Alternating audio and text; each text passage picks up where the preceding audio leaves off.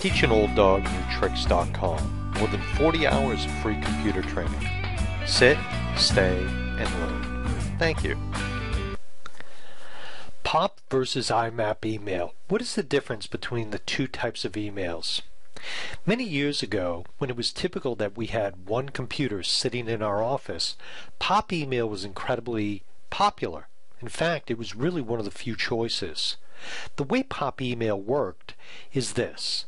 If I sent you an email to your email address, typically that email would go to an email server and it would stay there until you went into your office and hit send and receive in a popular email program such as Microsoft Outlook.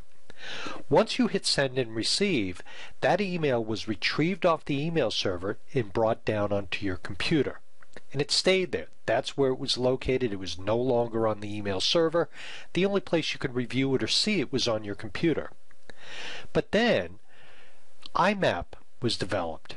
And the way IMAP differs from POP is this.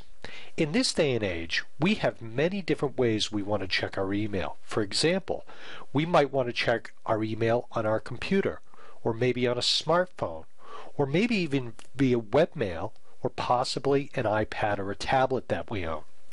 The difference between POP and IMAP is this. When you check your email in IMAP, the email stays on the server regardless of how you check it. A good way to think of this is think of it like cable television. Cable television, you can go into one room, turn on a sporting event, go into another room, turn on the same sporting event on a different television. Well, IMAP's sort of the same way.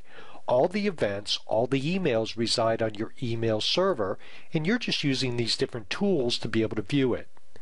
So in my opinion, because of this, everyone in this day and age of smartphones and mobile devices really should be using IMAP. IMAP is the clear winner.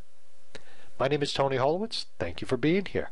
Created using Powtoon.